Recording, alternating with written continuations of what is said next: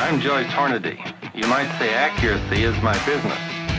I make bullets. You are listening to the Hornady Podcast. Thanks for joining us and enjoy the show.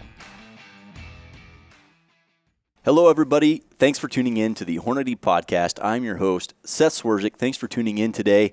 I know you guys have been enjoying a lot of the ballistic study podcast that we've been doing going all the way back. You know, now we're probably six months removed, uh, starting in on that history of the study of ballistics and going through internal and external and uh, different, you know, BCs and uh, point mass solvers versus the modified point mass stuff, and then uh, getting into dispersion. Man, we covered a lot of ground, and the, the feedback has been good. I would say largely the feedback has been positive. Not all of it's been positive, and we knew there was going to be some pushback, and that's okay. Um, you know, that's good for people to question things, and uh, the engaged listener um, has, has sent a lot of questions in. So today, across the table, I've got two of our favorite guests here on the show project engineer Miles Neville, senior ballistician Jayden Quinlan. Guys, thanks for coming on the show.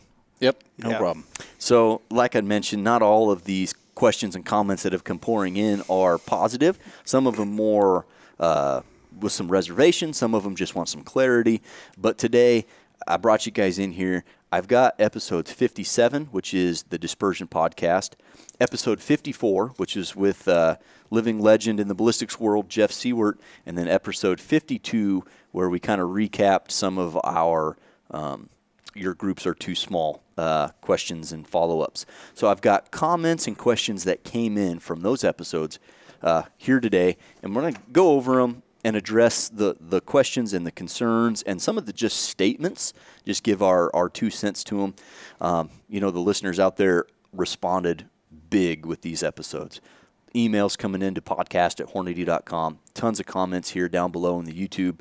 Um, just all great stuff. And before we get in there uh, to these questions, I mentioned this on a few episodes ago, but man, if you're listening to this podcast and you're not subscribed, please subscribe. It doesn't cost you a dime, and it does us does us a world of good uh, in just the numbers, the analytics having more people see these podcasts, and then it helps justify our existence as uh, an employee. So it, it does uh, it helps everybody. So if you're listening, please subscribe, tell a friend about it. And without further ado, we're going to start with episode 57, which we're we talked about dispersion mm-hmm. and what factors influence bullet dispersion. And there's a ton of nuance to this. And there's some things that create a lion's share of the dispersion, and then there's some small things that maybe or may not account for very, very small amounts of dispersion. But we're going to go through and hit a couple of those questions. So uh, the first one here comes to us from the YouTube's Sage Creek Gus. Uh, he says, very good presentation on the factors that cause dispersion up into where the bullet leaves the barrel.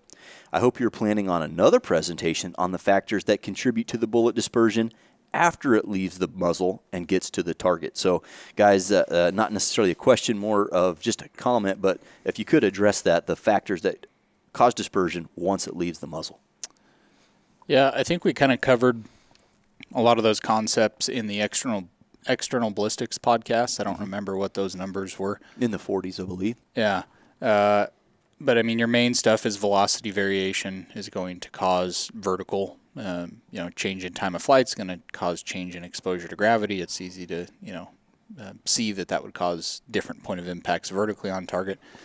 Uh, wind obviously is at play all the time.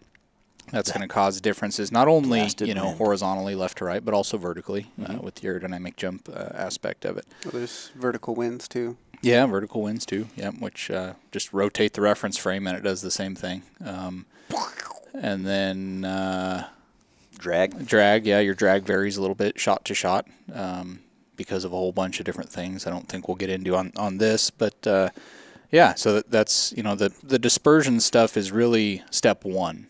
Um, it can be additive. So a common question is, can you shoot a smaller group at longer range than you can at closer range? And the answer is technically you can, however, it's not the same group. Um, so it is possible to have your uh, high velocity shot be the dispersion wise, it would be the lowest shot in the group, and those two things cancel each other out, and maybe that one hits in the middle at long distance. So you can have these all these different contributing factors can be additive or subtractive. They can all work in alignment with each other in one direction, say high or low or right or left. Um, and they can also cancel each other out, and it's kind of just a mixed bag. It it goes back to that that combinations calculator comment that we made. You know that you're you're dealing with a whole bunch of different variables, and which ones of those you get, uh, you don't really know. arbitrary, You right. know, so yeah, that's part of it. On that on that note, there's a thing called positive compensation that people talk about. Um, Oh, yeah, and with that's muzzle where- brakes? um, or whatever. Yeah. It's where you try to like tune a load or tune the system so that you're forcefully make your high your high velocity shot be the low in the dispersion, and your vice versa, your low velocity shots be high, so that at some distance downrange, the two come together, and you get tighter groups at that distance. Um, and I looked into that with quite a bit of effort and some of the early testing that I did, um, just uh, analyzing the dispersion. And this is, um, I don't know, probably two or three thousand rounds worth of data. Uh, and it's like, and everything that I did, uh, whether, so I guess what I'm getting at is that tuning the load to get positive compensation, I never saw anything. It's pretty much an exact 50 50 split of whether your high velocity shots go high or low. Um, Yep. Yeah. And then that's only one act, factor of it because then you've got some drag from one shot to the next. So by the time you get 800 yards downrange, if you had the highest velocity shot with the highest drag or the lowest drag, it's going to, yeah. There may yeah, there may be some mechanical thing you could do to the shape of the barrel to make it do something funky, but uh, as far as uh, tuning it with load Not development, I, I'm not going to say you can't, but uh, I don't believe in it Roger that. personally. We've talked about doing the hit probability subject at some point. That that pretty much answers that question. You know, how do all those things add up to each other to give you the, the net result? Right, right Yeah. on. And that's and again with small small samples, you'll see that you can cancel things out and and technically they can, but uh, odds are against that. And most of the time, all if when you get a big enough sample of shots, the dispersion is pretty linear for a while, and then just slowly increases in how the rate at which it grows as it goes downrange. All right, Sage Creek Gus, there you go. Jump back into the uh, archives here and listen to those two podcasts about external ballistics that'll cover the lion's share of uh, dispersion increasing factors once the bullet leaves the muzzle. Uh, moving on to Tom Longbow. He has a question. When you drilled the CX and marked them and loaded them at 12, 3, 6, and 9 o'clock, did you notice that the groups were placed at a 90 degree delay? Greetings from Germany. Yes, absolutely. That's an interesting observation. Um, he must have uh, had some experience with uh, CG offset and how it works. So what he's asking is, uh, you know, when we drilled the holes in those, actually, Miles, you drilled the holes in those things. He's a machinist. Yeah. And uh, so he's asking, you know, when we oriented the drilled hole uh, where the imbalance was caused, when we put that up at 12 o'clock at the top, did we notice that the response of that was 90 degrees, you know, either to the right or to the left? Yep. The answer is yes, absolutely. So the ones that were oriented at 12 o'clock uh, ended up at 3 o'clock. And the ones that were oriented at 3 went to 6. Six and Yeah, six and- and, and wow. worked their way around. Yep. That's pretty cool. All right, Kenny V. I love all the knowledge being shared. Um, what going to like? Okay, I got a new gun. How do I get the most out of it? Do you start reloading from round one with beginner knowledge, or start with factory ammunition and learn your rifle? Again, thanks all the way from Belgium. So what he's asking is. Uh, Walk through the steps of, hey, right, I just got this new rifle. How do I get the most out of it? Do you start reloading out of the gate? Do you do some initial work with factory ammunition? Um, what do you do to get the most out of it? Boy, I think either way you want to take it, I don't think there's a, a wrong way. The only way you're going to understand how good or bad this rifle is is to, to shoot it. Yeah, You know, to- got to establish a baseline. Yeah. Yeah. Um, factory ammo is a great way to do it, but Yeah, I think so. Um, as as far as like brand new barrel to some rounds on it, uh, we've seen some inconsistent things. Maybe in the first twenty rounds. yeah, depending on the barrel, heavily dependent on the barrel. Yeah. Um, these higher quality match barrels that we uh, use the majority of the time in most of our testing, they don't seem to suffer from it much, meaning that there's not much change from the very first round onto the barrel to the 20th or 50th maybe. But some factory barrels uh, we have seen that happen with, yeah. Okay. Um, yeah. Yeah, and if you're uncomfortable behind the rifle because it's a whole new system to you, then that might be. I guess that what I'm getting. If you're if you're the limiting source of the dispersion and you're going to get better as you keep shooting more rounds, then you should level that off before you start testing. For sure. Yeah, that sounds that's sage advice regardless of what you're doing and I think for me, especially early on, I always like to start with a baseline of factory ammo. Uh, usually 100 rounds was kind of the generic. You know, you get 100 rounds in a new barrel or a new rifle, or whatever it is, and you take those 100 rounds, one, to establish the baseline of what it's capable of with this particular load. And typically I would try to do it with something that's known to be, you know, accurate, say 6.5 Creedmoor, 140 grain ELD match factory ammo. Uh, that is the gold standard, or 168 grain match bullet with 308 Winchester. Just something that's tried and true. Um, establish the baseline, and then you get a little little stash of fired brass for you to start uh, reloading with when you really want to dial it in. And then from there, yeah, obviously jump into a hand load. But I think to say it again, establish the baseline and use that baseline with a good representative sample of what the rifle is capable of, and then use that as your benchmark as you start hand loading. Yep. All right, from Mick Dackery. That seems like a made up name. Love it. I feel like a whole episode should be done on how the ballisticians take care of the barrels that they test with. Break in processes, if any. Overcleaning, not cleaning enough. Is the barrel burnout from overcleaning a thing? Or maybe no cleaning at all? So, yeah, guys, that's a great question. We haven't addressed it. And Jayden and I, I know we've talked about having uh, kind of the lead uh, lab technician down there on the podcast to just go over some of this stuff. So, uh, guys, walk us through the ballistician's take on taking care of a barrel, a new barrel, what it looks like, maintenance phases, and then you know the over cleaning thing, and if it you can ruin a barrel by over cleaning or not cleaning at all. Yeah. Well, I think you get the biggest change in a barrel when it goes from an unfired state to a fired state. You know, you're um, you're going to change uh, the the internal conditions of the bore from a roughness or a burr standpoint. You know, if anything's left in there from rifling, I think you went into that in a lot more detail on that custom rifle podcast. Um, but as far as how we do it, I mean, we you've probably heard the term listen to the barrel. I mean, that's what I do. I listen to it both in the way it's cleaning, and then I also try to monitor at least velocity. Uh, and if I can, velocity and pressure. You know, if I'm working with a pressure and velocity barrel, and typically what I'll see is with with the high quality barrels that we use, the the single point cut, you know, uh, the Bartleins, the Proofs, the Proofs, the HSs. There's a bunch of them out there. You Yeah. know, um, we see that those don't really have much of a break into them at all. And, and what I mean by that is I'll watch the velocity and I'll watch the pressure, and it's re- you know after one, two, or three or four shots or something, it's really not changing much after that. Those three or four, it seems to change quite a bit from shot one to shot two to shot three. But usually in that single digit number of shots, that thing has stabilized and it just kind of stays there. If I keep shooting the same ammo, obviously letting it cool, maintaining it, cleaning, you know, stuff like that, it's not it's not changing rapidly. Now, if I had a barrel that that I I started with those small sample sizes, shoot once clean, shoot once clean, or three, or whatever your prescription is that you want to do.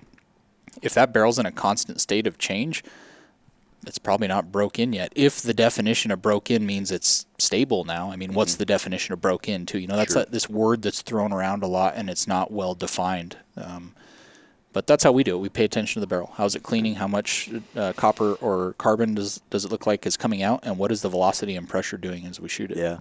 I think, um, yeah, it's a giant it depends stamp on that one. Um, cartridge dependent, powder dependent, bullet dependent. Oh yeah, well, cartridge and, and powder dependent for sure. You know, you start getting into the overbore cartridges, uh, even even something as not grossly overbore, but like 6.5 PRC, where you've got a really slow burn speed of propellant into a relatively small bore diameter. Um, that's yeah, definitely can going to come into play. you can have pressure building up and have problems within 150 rounds in some some of the yeah some it depends. I mean, it just depends. There's some guys you can get away with 300, 500 maybe, and then there's some barrels that we've almost we we quit testing early because we got scared. We were blowing primer pockets open at 120 rounds without cleaning it. You know, Yeah. and some of the rougher barrels that are out there. So if you, eh, I mean, and then there's just fluke stuff that'll happen. If you get a copper deposit that sticks and starts grabbing more and more copper, then Oh, yeah. if you, there's no round count associated with that. That's just just, a a, thing. thi- a thing that happens. And if you don't address it, it's just going to keep getting Yeah. worse. So regarding uh, pressure and velocity barrels, um, maybe this could be part of a separate podcast entirely. But pressure and velocity barrels, we clean pretty religiously. We clean effectively. We're not just out there scrubbing the you know scrubbing the piss out of them, for lack of a better term. Mm-hmm. Uh, but we do keep those so that they're in the exact same state when we do a test.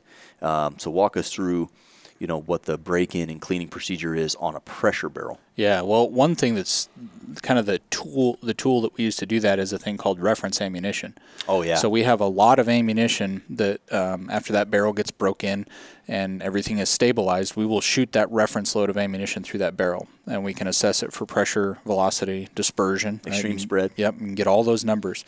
And now you've kind of established, hey, this ammunition is performing like this in this barrel.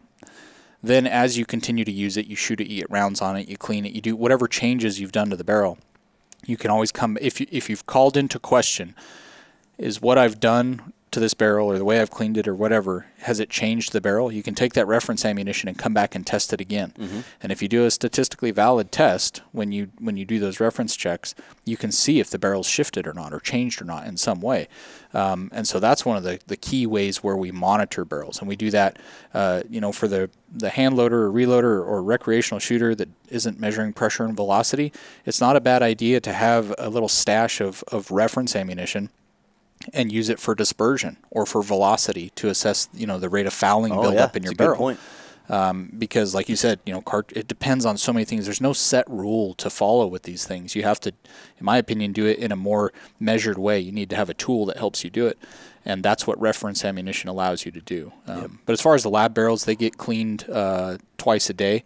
You know if there's any question as to the level of cleanliness of the barrel and its effect on a test it's not used i mean it gets pulled out until that thing is in a stable state it's not used to assess the performance of ammunition Right on.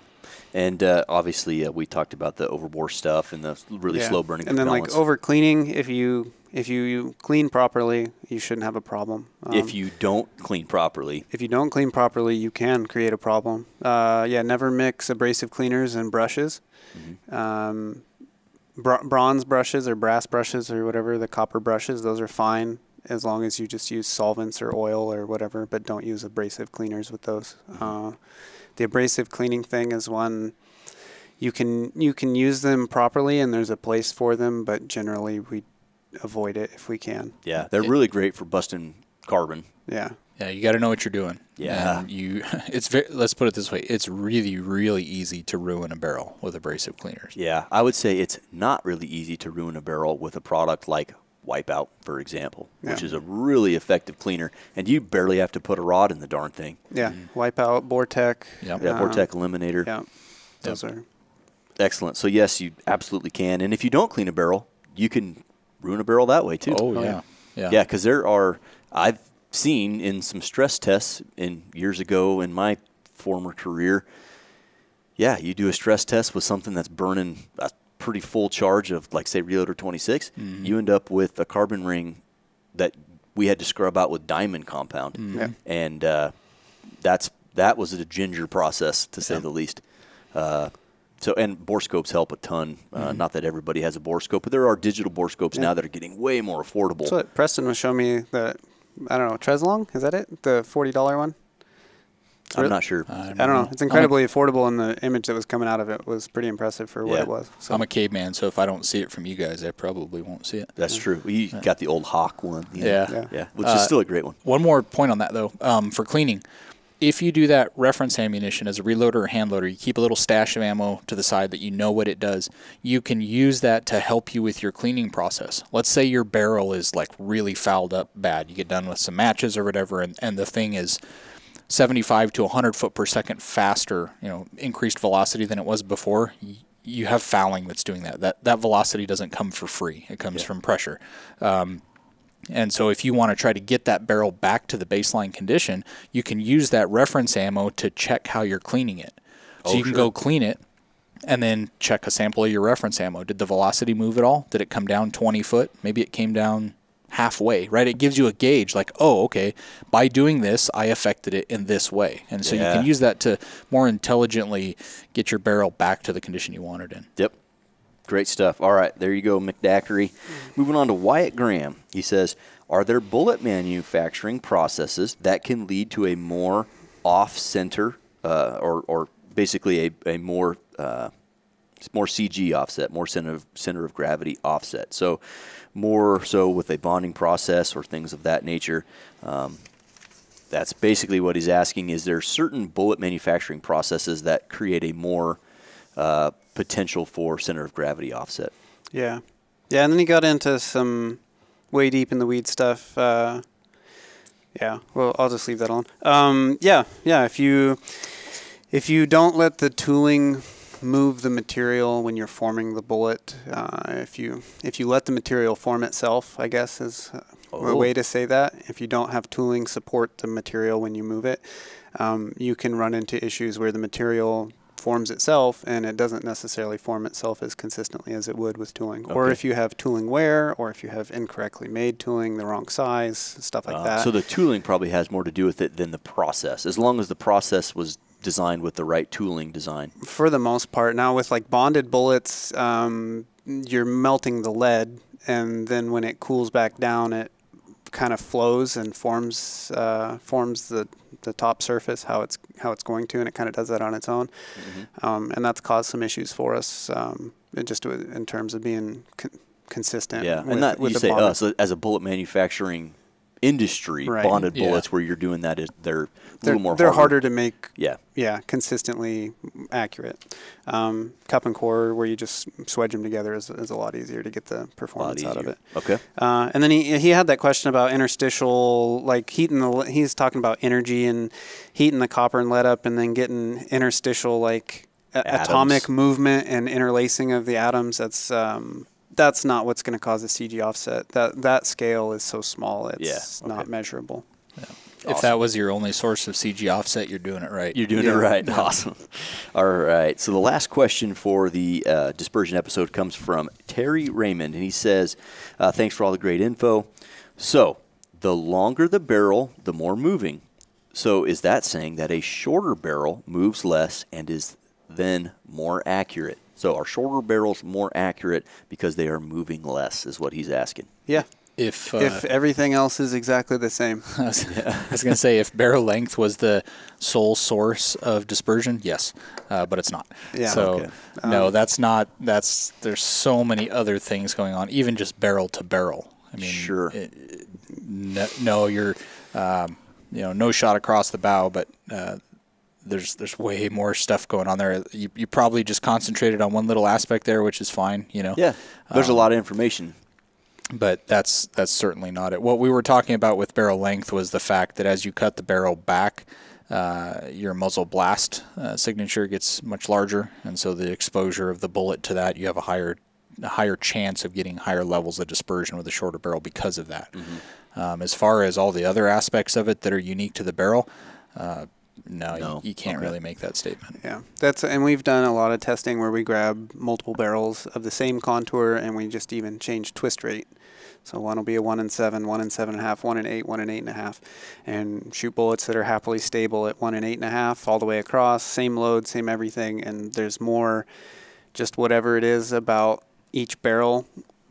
You know, from barrel to barrel, there's more change in dispersion from whatever factors that are there that w- we're not seeing or measuring or don't know how to measure yet. Um, than simple factors like, oh yeah, the twist rate made a huge difference here. It's you, can have a seven twist that shoots better than the eight and a half, or vice versa, and it's there's there's so many knobs to turn hmm on that equation that yeah, it's just saying that shorter barrels are more accurate. That's Not an accurate. that's like a theory based, yeah, one aspect of many. Okay. Well, and, and anecdotally, you know, you look at F class and bench rest, those guys are shooting 26, 28, 30 inch barrels on a lot of their stuff. So, and those guys are, you know, sh- shooting some of the smallest groups at long range, you know, ever So- recorded. well, yeah. So, we, we both had 36 inch 300 PRCs, and they didn't shoot any worse or any better than my 30 inch or 24 inch 300 PRCs either. So right on.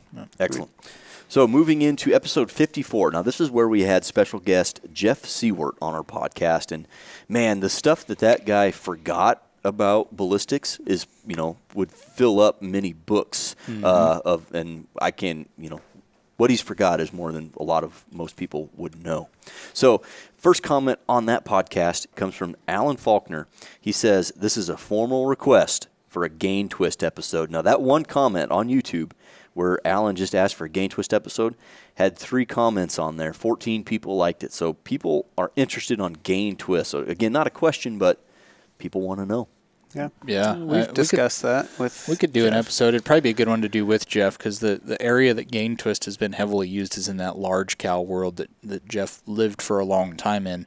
Um, so artillery pieces, stuff like that is what I'm saying. Uh, we've messed with Gain Twist a little bit. Um, what we've seen is that uh, there again there's there's other things going on. So you know, going from a standard twist to a gain twist doesn't alienate all the other problems that you have to deal with. It's not the one, you know, the one button fix, Yeah. right? The the take this pill and lose this weight. It's not that. Um, now there's some interesting things going on with gain twist that, that you know maybe we, we cover in that episode. Yeah. It, will change this- your yeah. pressure and velocity a little bit. Uh, it changes the the wear state on the projectile for sure. You know, you're changing how fast you're spinning it up. You're probably changing the some of the dynamics that the barrel is experiencing. You know, Yeah. would be reasonable, uh, reasonable. But yeah, maybe a whole episode on that when we get Jeff back on. Very cool. When hunting the wild, challenges abound. Leave nothing to chance. 7mm PRC from Hornady. All right, so moving on to uh, Derek Featherstone. He said, again, what a wonderful podcast. Answers so many questions, but at the same time, generates so many more, as it always does. He asks, with your experience in test reloading, you folks know so much about powders. Can you make a podcast about powder dynamics? Uh, again, that is a question, but also more of a comment. Uh, people want to know more about propellant.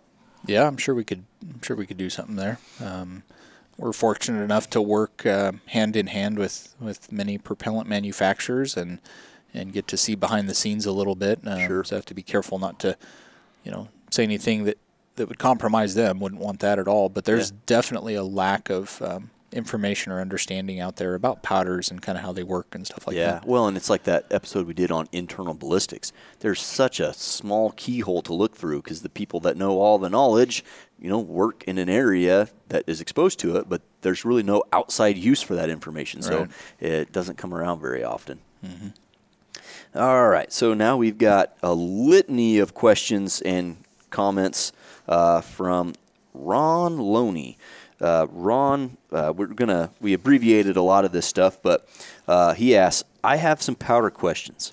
And the first one was, "Doesn't increased surface area by the shape of the powder increase the consistency and completeness of the combustion?" So, yeah, does the surface area uh, by the shape of the powder does that increase the consistency of the combustion? No, I think that Probably has more to do with the chemistry of it. Yeah, there's so many different things going on there with propellant. Like, you know, we need to probably just do an episode on it to talk about those kind of foundational makeups of it to, to better answer that question. But Yeah. the short answer is no. Um, Right. th- there's other ways to control that. Yeah, Increase surface area. and then Eh, there's, there's yeah. The, what you're really looking for is maintaining a consistent surface area as the as the powder burns away. okay. Uh, but yeah, that gets pretty deep pretty yeah. quick. So his follow up to that was, aren't ball powders, spherical powders, because they have less surface area, not as reliable in providing high velocities because of their incomplete combustion? Actually, the opposite. Yeah. Um, you know, one of the one of the ways that ball powders work in a way that traditional extruded powders don't is their chemistry, the chemical makeup Yeah. of them, the energy content, and the and the burn rate modifiers um, that they have. So no, I mean it, It's the exact opposite. You They're- want to juice the speeds up, you Yeah. put in some ball powder. that's right. Yep. Of that has of more to- certain types, Yeah, that has you more know, to do with all the equal. chemistry than the shape. Yeah. And then his last question that we're going to pull up out of here, he asks uh, regarding uh, bullet accuracy: Is the accuracy of lead core bullets versus monolithic bullets? Um, yeah, basically the difference between the two. And does the changing of the shape of the bullet and the way it expands uh, and obturate does that affect its accuracy?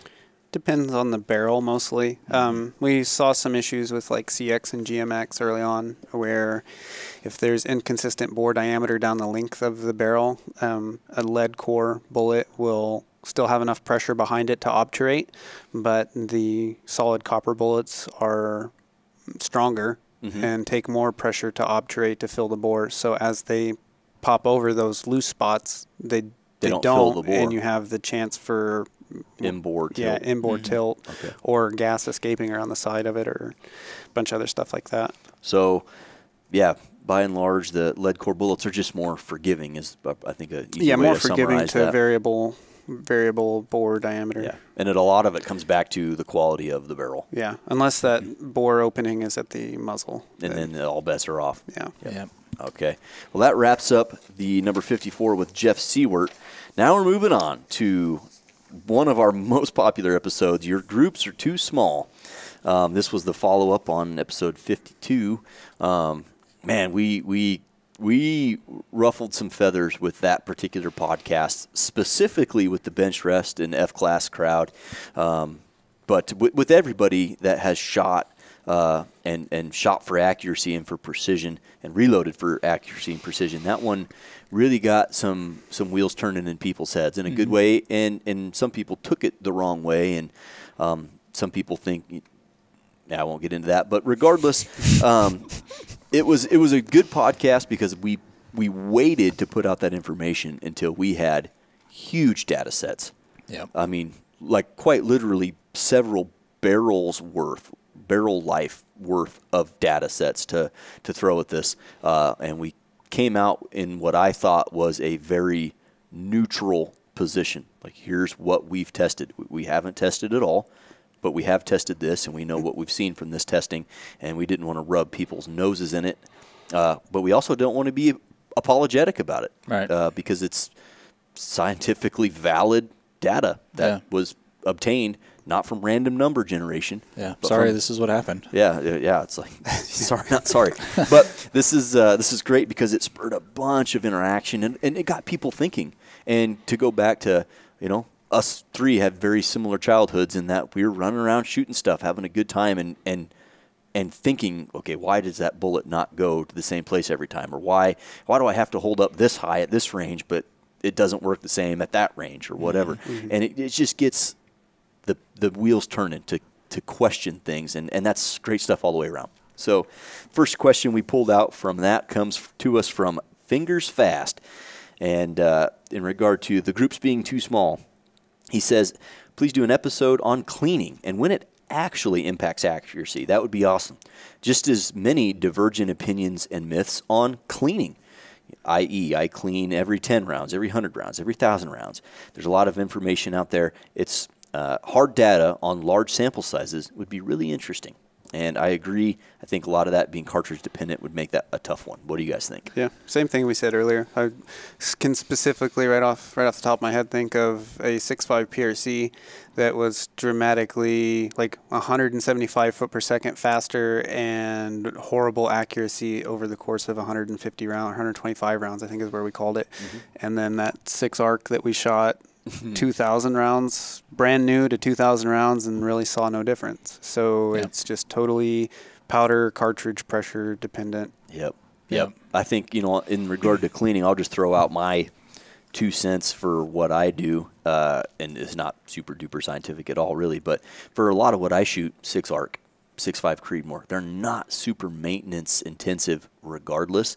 And I usually shoot 20 right off the bat on a brand new barrel, maybe a couple five shot groups, a few five shot groups, whatever it is. Get 20 rounds on it, give it a cleaning, and then I'll shoot it to 100, give it a cleaning, do some load development, and I'll typically practice with it, however many rounds that is. I'll shoot a match, and then I'll clean it after after a match. So it might have two to three, 350 rounds on there, maybe 400 rounds on a on a six arc or something, mm-hmm. and I'll clean at that point. On my hunting rifles, my 7 PRC, my 6.5 PRC, I'm in my opinion, I'm cleaning for a different reason. I'm not. I'm, I'm cleaning more as a maintenance thing. Uh, I know I'm never going to hunt on a clean barrel, and I know I'm not going to shoot a bunch of rounds on it. So I typically clean every 60 rounds, 75 rounds, maybe even every 50 rounds. And again, I'm not scrubbing it to bare steel. I'm gonna I'm gonna shoot the 50 rounds, let's say.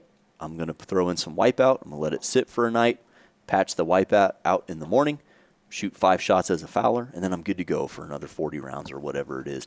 I'm not scrubbing it to beer steel. I'm just trying to keep it very consistent.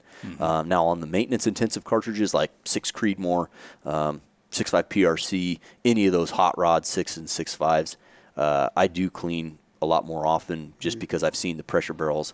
I've seen the you know the the uh, bore scope stuff like, and you can ruin a PRC barrel in 150 rounds. You can ruin it if you're if you're getting wild, and so I, I do clean those significantly more often. I think that's I'll kick that over to you guys yeah, now. typical of most magnums. Um, And then I guess that, I think I've pretty much said I've it's a, uh, it's about the same thing that you do for my match rifles. Um, I will say if there's something that you know you're not going to shoot for months at a time, just clean it, clean it. Maybe even run an oil patch because I know we use Let it sit around. 416 stainless, you know, but that. Uh, That doesn't not, mean everything. That's not an absolute Yeah. stainless always in every situation, and the powder fouling sometimes leaves stuff in there that attracts moisture, and uh, it's not unheard of for a stainless barrel to, to Yeah. still rust if you let it sit, especially if you're near the ocean or very humid climate or whatever. So Good Yeah. point. maybe to answer his question a little bit about you know I clean every ten or hundred or thousand or or what what are those methodologies and why? Um, you look at the bench rest world, and a lot of those guys will clean in between strings. You Yeah. know, I mean, and that makes sense. You know, if you if you listen to that dispersion podcast, and we talk about how you know a little piece of raised metal in the barrel grabs a piece of copper and that gets a little bit bigger and a little bit bigger and that's you know affecting each bullet that passes a little bit differently well in those worlds where you're attempting to control everything as consistently as possible sure it makes sense to do that Sure. um, I mean, if it has a good result, right? Uh, so you you may be doing nothing positive by cleaning, but you're not hurting it. You know, which you might be hurting it if you let it keep getting dirtier. Who knows? Yeah. And if you're Um, not using a bore guide and good cleaning practices. Right. Um, but my question would be, what what is the baseline that's told you that you need to clean? And have you cleaned well enough instead of just arbitrarily cleaning at different metrics, which is good for like a um, preventative maintenance standpoint? Absolutely. And like you said, certain cartridges require it. You know, you can't get away with laying down and just ripping rounds through one, but you can another.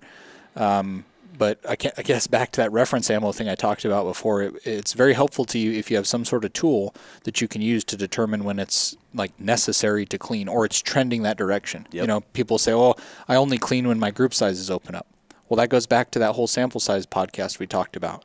You know, if the sample size basis of your of your rifle is five shot groups, and you haven't done very many of them, then and you you happen to shoot another one and it's uh, you know 50% larger, and you say, oh, it's because my barrel is dirty. Well, it's Yeah. it's not really solid uh, data there. So maybe have some reference ammo and know what it shoots for a group and know what it shoots for velocity and use that as a tool to assess. Oh yeah, I, I can only get away with this many rounds before this happens. Velocity picks up this much, my dispersion increases, whatever it is. But um, we fight cleaning a lot here uh, from from customers that have problems. I mean, uh, cleaning a barrel, I think, is done um, ineffectively more often than it's not. Yeah. Or it's not done at all. Yeah, yeah. Yeah. Or it's like, hey, I pulled uh, this little you know sock on a rope through it, or Yeah. or whatever it may be.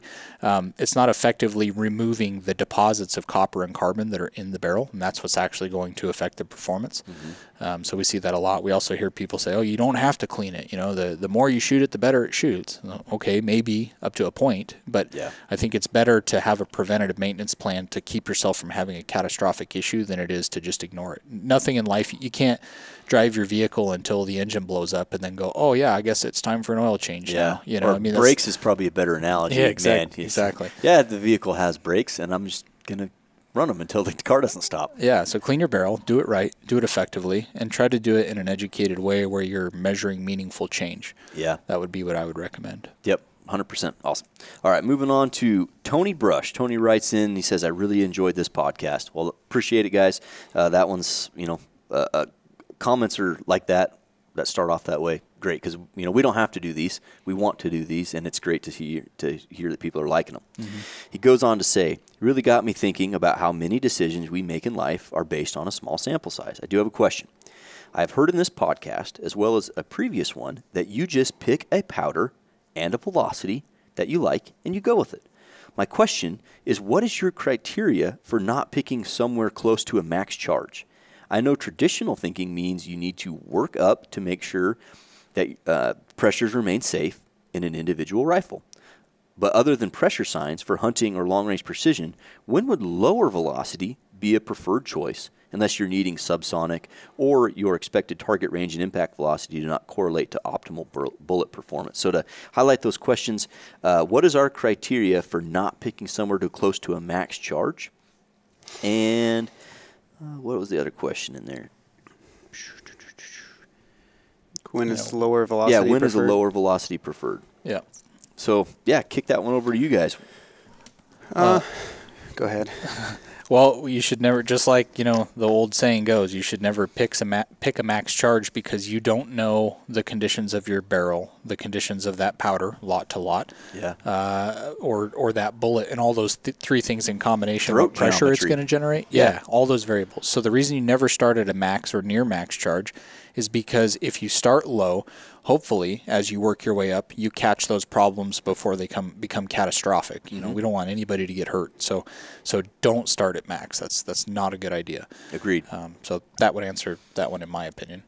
Um, and as far as yeah, like uh, I guess uh, my basis on on saying I start a grain or two under max, uh, just to feel out of if a bullet and a powder combination are going to work. Uh, I think is the reference to this question. That was in three or four different calibers uh, over I don't know, 3,500 or 4,000 rounds worth of testing with 15, 16 different types of powder. Um, but at best, as you increased powder charge and velocity, the dispersion stayed the same. and, that's at best. that's they at, stayed the same. That's at best. Um, and that was a rarity. Um, typically, what I saw was some level of dispersion increase with an increase in propellant charge. So I say, uh, yeah, back off, and you've got a good, uh, you've got a better chance of getting Good dispersion. better dispersion. Um, and if you run hit probability, it takes really, really, really massive changes in velocity to outweigh dispersion. not very big changes in dispersion. Mm. Okay. So usually the dispersion gain is worth the lost velocity from a hit probability standpoint. That's awesome. So when would a lower velocity be preferred? When is when dispersion is the name of the game. Yeah, and so in in that respect, if it's like if it has a terminal performance aspect to whatever you're using this for, so for match shooting, you you- you're basically for match shooting the the, the thing that gets weighed out is wind performance, and then and slowing it down will increase your like the same muzzle velocity spread over at a lower velocity will have a larger elevation spread at long range. Um, and and the same thing, more wind, you know. And so what you're looking for is the difference in the velocity A plus dispersion A, uh, and what does that manifest itself out to downrange versus velocity B, dispersion B. What does that manifest itself out to downrange? Uh, and then kind of finding a happy spot. Now, um, mm, and then and then if you have a terminal aspect to that, then you have a minimum muzzle velocity that you have to have to Make the bullet work. to make the bullet work at a certain distance. And so you you pick the, the target, the distance, the bullet. Okay, I need this much muzzle velocity at a bare minimum, and and you're kind of stuck there. I mean, on the on the that's on the floor. Now you might not need the floor to start off with, but uh, and and like I said, some of those trends of dispersion increase with powder increase, that's some of those are really shallow. So Yeah. sometimes, yeah, maybe you start here, and then you after you've decided, oh yeah, that's a viable powder bullet combination for this barrel then you can play around with seeing how close to the top I can go Yeah. safely. And if you can get 100 foot per second out of it or 50 or whatever, and you're still getting acceptable dispersion, then Great. yeah, Yeah. yeah, then it's- Awesome. Yeah. And that one more note: that velocity is tied to a whole bunch of other things that you experience too. Recoil. Oh yeah. It's tied to the time of flight to the target. Powder So- consumption you know, in if you- today's market. and powder consumption. Yeah, if you want to see your own bullet impact, if that's important to you, and making a correction or whatever it may be, then slowing it down a little bit is going to give you more time to manage the recoil and watch what Yeah, happens. and that's becoming more and more prevalent and popular and understood in the last couple of years than it was. Man, when we when I started shooting precision rifle stuff with you in 2013, that wasn't even a consideration. We were shooting 308s back then, but then you know it was the six five race, and then the six millimeter race, and then now, uh, just this last year and a half or so, I've personally switched over to a six arc from a six Creedmoor, Mm-hmm. and slowing that bullet down has made a world of difference. It's incredible in seeing trace, seeing impact, making a correction. It's like you were, you know, just learning how to drive a race car, and it felt like you're on a spaceship. And then once you get real comfortable and you slow down, then it's like everything's happening in slow motion. Yeah. it's, it's pretty awesome. Yeah, I remember the days of how can I make this six millimeter bullet go 3150 to 3175. Yeah, And just under and the speed limit, Yeah, yeah. just just in the rules, you know. Um, those days are gone. yeah, Yeah. but yeah, it's so much uh, more pleasant and controllable. Yep. Another one, um, just real quick, would be, you know, the the undefined term of barrel life. Uh, Yeah. if you run a more moderate velocity, generally what's going to come with that is a more moderate pressure. And we have seen where if you're not exposing a barrel to, you know, 60 to 65,000 pounds of pressure every shot, maybe you're exposing it to, you know, 55. 52 to 57. Yeah. Uh, that barrel will last longer. It will perform more consistently over more rounds. Which is always great. Yeah, Especially yeah. barrels aren't cheap. So don't be afraid to slow things down a little bit. Don't Yeah. slow them down too much because you can get to an unsafe level if you Yeah. you, know try to start going below the minimums. Those those minimums are listed for a reason, just like the maxes. Yeah. Always reference a good, trustworthy handbook of cartridge reloading by Hornady or any other pressure tested data. Yep. All right, moving on to Brent. Brent says, So, now that you are rewriting the book on all of our load development processes, I'd like to see a follow up test where you use conventional load development methods like the OCW test and the velocity test with three to five shot groups to identify a node and a non node. Then load up enough cases of both to be statistically sound and then go shoot those two groups.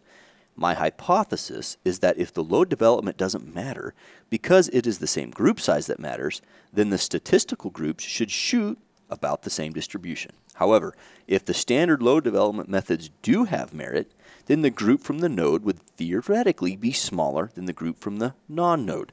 I look forward to your findings. Yeah, that's how I started all this. Yeah, that was Yeah. the basis of Yeah, it. so he act, we so Brent We, we, just repeated an OCW test um, and ladder tests and Satterlee tests ad nauseum, and then Seating depth. compiled yeah and compiled all of that data into a composite group, and then said, "Wow, this this this this this when you get all those composite groups together, are not that different from each other." And then each line, each line, uh, because I think I did seven five shot groups, uh, you know, mm-hmm. and so each set of five shot groups would say, okay, that one's good. Now that one's good. Now that one's good. And I was like, they're not the same, you know. A couple of them, maybe two out of the seven or three out of the seven would be, but that was four of them weren't, you know. Yeah.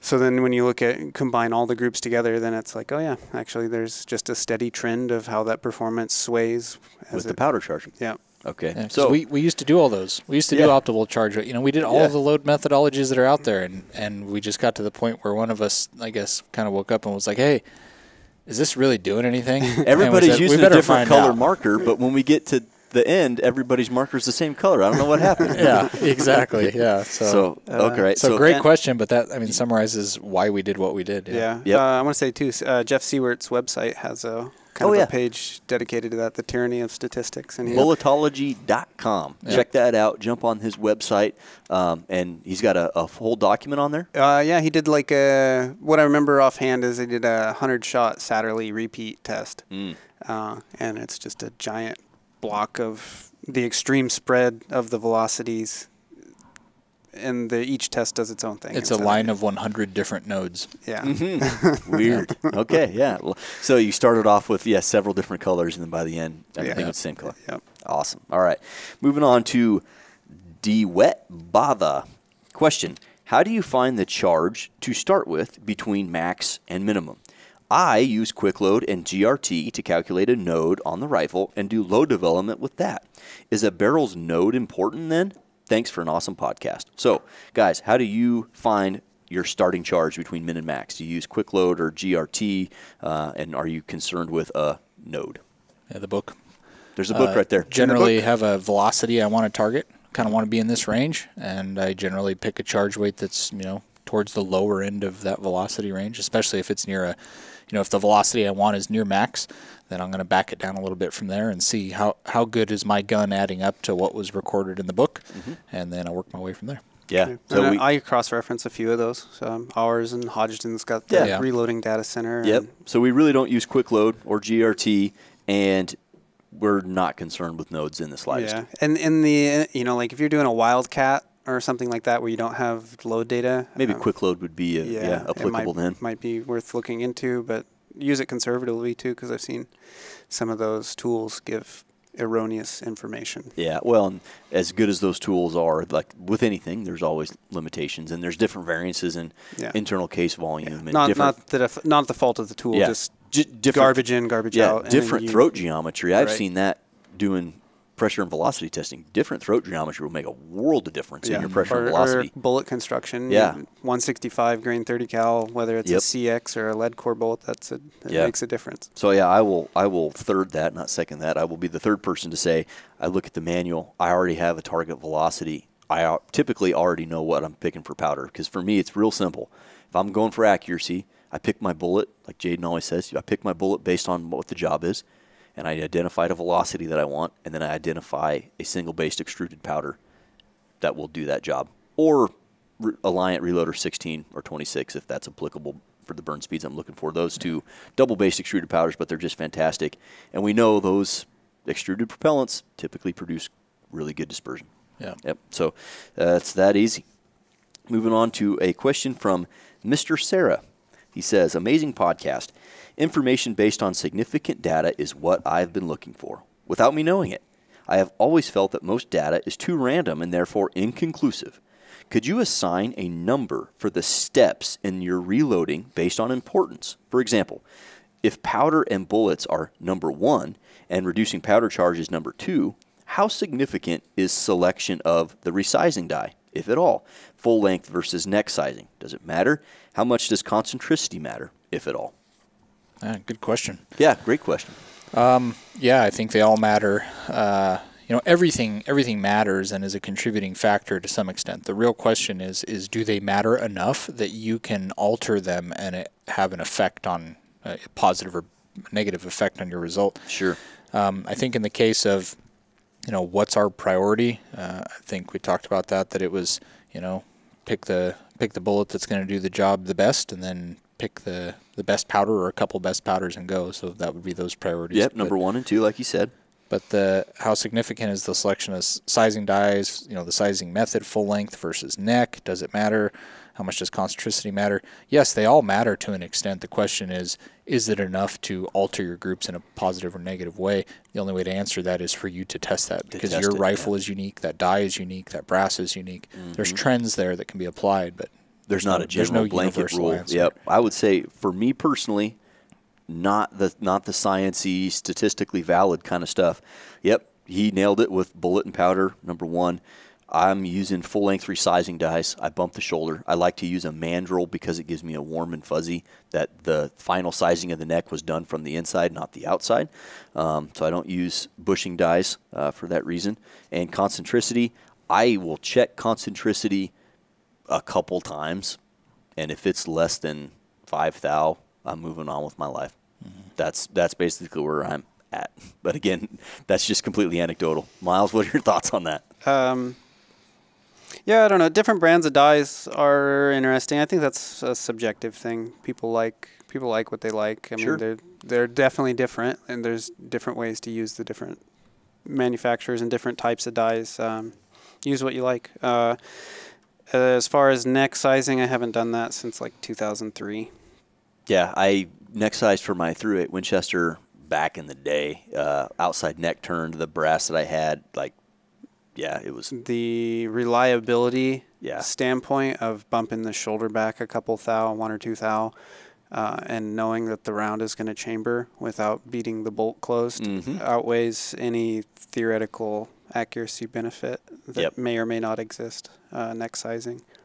And you tested that, if I'm not mistaken. Didn't you neck size a whole bunch of brass and then full length no, I neck it? turned a whole bunch. Oh, that was neck turn. Yeah. Okay. No, uh, neck turned, and then I honed the necks and graphited bullets. Uh, Yeah, you went deep in the weeds on that. Yeah. All right. So one and two, And lion's share, three through whatever, very minuscule in our. seating depth, brass prep, sorting brass by internal volume, maybe.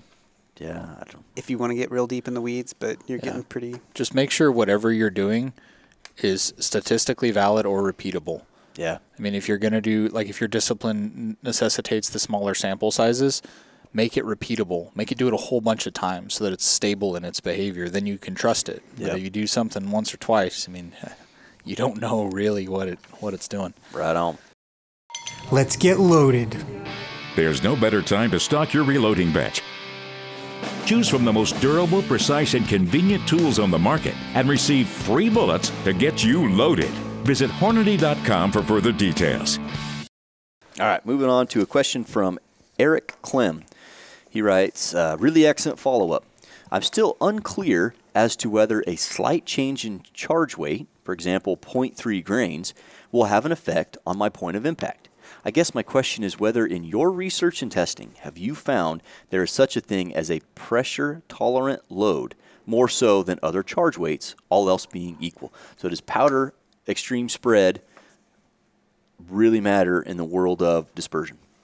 Yeah, sometimes. Sometimes. This is going to be the. It and he's, depends. he's asking a slight change for a, maybe about three tenths of a grain. And that, there's there's a lot of knobs to turn there. It it could in some situations. It could not in others. Yeah. And in your experience doing hand trickled versus thrown from a powder measure, did you document any change with the different? Because you're, I mean, hand thrown powder measure, we're talking two to four, maybe half a grain of Uh, variance. yeah, you can see like 4350. You can see seven or eight tenths of. It's usually Of plus or minus a half percent of your Okay. charge rate. So Yeah. if you're plus or minus a half a percent and then you hand trickle, what did you see from a dispersion standpoint difference? Dispersion is better when you weigh to the as tight as you can weigh. Yeah. Uh, to like the way you got the two hundredth scales. Is that whatever Yeah. the the auto trickler scale? Oh, the Um, FX 120i. Yeah. Uh, if you if you take the time and weigh that out, it did trend to group m- marginally, and I mean very marginally better. Um, like probably single digit percentile better, Yeah, like two, three percent better. not 50% better. yeah, No. like like oh wow, those are those all were a little bit better. Yeah, like on a 30 shot sample, it's, you're talking measuring from uh, a, a true half minute 30 shot group, say one inch at 200 yards, to now it was eight or nine tenths, Maybe that much. Yeah. maybe. Okay. Maybe. So it was pretty, wow. And that's with, yeah, half a grain. That's going from basically plus or minus a tenth and a half to plus or minus two hundredths of a grain. wow. Um, and and then as far as velocity spreads go, g- generally you got like a three tenths window that you will need a lot of rounds, hundreds of rounds to see the difference in long term ES and SD. So on the small side of things, 0.3 grain total variation or less, it's that's probably within the noise. That's probably not making a big impact. For the bulk of everybody, yeah. Yeah. Interesting. I mean, the the question is, uh, is the improvements that you can get worth the time it takes you to get them? And the answer to that is different. For the For short everybody. range bench rest guy, the answer is yes, Yeah. because he's trying to make everything as perfect as possible. For the sh- for the field shooter, a lot of them, yes, the, it is worth the time. Some of them, no. You Yeah. know, it, It's, it's it's up for debate, and a lot of it, yeah, Yeah. is personal and, preference. and I would I would say too probably like boat tail and crown geometry or maybe just bullets and barrels interaction. I think you could probably have some that are more susceptible to it mm. and some that Okay. are less. So. yeah. I would Well- expect to see it on larger charge weight variations. I would be, I would be very surprised to see a large statistical difference on a say 40-ish grain cartridge that varies by 0.3 tenths of a grain on charge weight. It's, it's probably there, it. but yeah, it's probably pretty small also. Right on. Yeah, and, and anytime I read a question like this or I hear somebody ask a question like this, my mind really goes to, uh, What is the best? well, no, I was going to say uh, a precision rifle competitor, uh, Justin Watts from Oklahoma. I mean, that man, at least two years ago, uh, when I learned about this, straight winning national level PRS matches, shooting factory Hornady 6 Creedmoor 108 ELD match ammo. Factory ammo. And we hold our ammo as tight as we can possibly get it, but when you're taking extruded propellant through our powder measure systems, it's not to the kernel. It's You're not, getting yeah. variation. It's, it's volumetric. Yeah, and he's winning matches doing that. And so um, I, I think of that when I hear this, that the nut behind the bolt is, you know, oftentimes more, you know, more indicative of how you're going to perform than three tenths of a powder. Mm-hmm. All right, moving on to a question from Woodstock Rifles. Woodstock Rifles says, more great information on sample size for a given load to see if it is legit. I would like to see an hour and a half podcast on your traditional hunting bullets, the ones that are not in 4DOF. The Interlock and the SST bullets have worked great for years. How do they actually compare against the ELDX at traditional hunting ranges, say 25 to 350 yards? Coyotes, pigs, and deer. Some gel tests at 2400 to 2700 muzzle velocity would be nice to see at 200 yards. What the hunting bullets actually do at range in gel, not 100 yard high velocity. I have never had a rifle that shoots a max load in your hunting loading manual. Excuse me, I've never had a rifle that shoots a max load well in your hand loading manual. Uh, Year round. yeah, I have always had my best groups in my rifles, just a couple grains past half to three quarters the way up the ladder from minimum to maximum. Hopefully, I said that right. Well, hopefully, I said that right. uh, basically, what he's saying is he's gotten his best accuracy, most consistent accuracy, regardless of environment, when he's at a modest charge weight, somewhere between half and three quarters. And that's That reminds me No of something surprise. that the other guy that was asking why you would choose a lesser charge weight. That's another reason. Oh, is that environmental They're swings. they're reliable. Like whether it's 20 degrees out or 120 degrees out, I'm not going to pop primers and lock my gun up and break my firing pin or do Yep. anything Yeah. goofy. So, Jayden, the E ELDX compared to traditional bullets like the Interlock and SST, and I kick that question over to you first, not because uh, I don't think Miles has a good opinion on it. Uh, obviously, he's a good bullet engineer, but you were there for the legacy products, and then you were there for the ELDX bullet, the entire development. So, how does it compare to the Interlock and the SST at traditional hunting ranges at traditional velocities? Yeah. So obviously the ELDX has a huge advantage aerodynamically. It's a race car for a shape. Uh, the legacy bullets, I mean, the SSTs are pretty slippery too. Yeah. Uh, the interlock's a lot less so. You know that that bigger meplat, that old lead tip uh, kind of technology from back in the the 40s and 50s. How do they perform terminally? Um, all very similar at those traditional ranges. Like he notes, you know, 25 yards to 350 yards. They're all pretty similar there.